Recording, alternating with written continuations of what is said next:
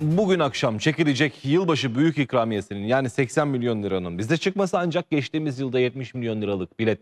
Bir yıl boyunca sahibinin kim olduğunu konuştuk ve artık mesai bitti. Para ne olacak sorusu var. Hemen Ankara'ya gidelim. Ankara'da bizi Oğuzcan Obuz bekliyor. Ne olacak 70 milyon?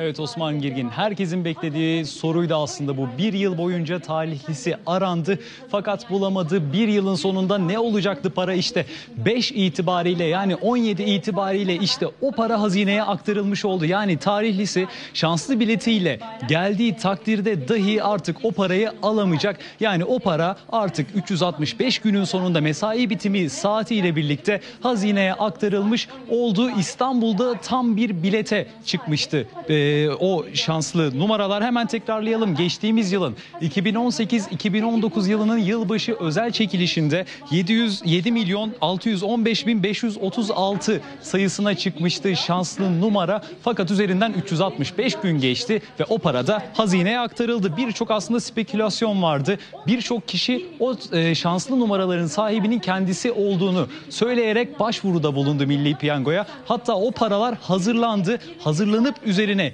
yayınlar yapıldı fakat yine de tarihlisi çıkmadı. Başvuranların aslında başka bileti bir sayıyla bir rakamla farklı numaraları olan biletleri olduğu tespit edildi. Yani o şanslı kişi bir şekilde bulunamadı ve 315 365 günde de 11 milyonluk e, bir kardan zarar elde edildi. Eğer faize verilmiş olsaydı aslında o kadar da kazandıracaktı. Ama işte o tarihli çıkmadı ve bu nedenle de o hazine e, o para hazineye aktarılmış oldu. Şu anda da 2019-2020'nin yılbaşı özel çekilişi yapılıyor fakat bir ara verildi. Bu çekilişte aranın ardından devam edecek. E, 300 liralık ödüllerle devam edecek ve büyük ikramiye de akşam saatlerinde 8 ile 9 arasında çekilmiş olacak ve yeni tarihlinin yeni tarihlinin de talih kuşunun konacağı kişi de aslında akşam saatlerinde kendi şanslı numarasını belirlenmiş olacak.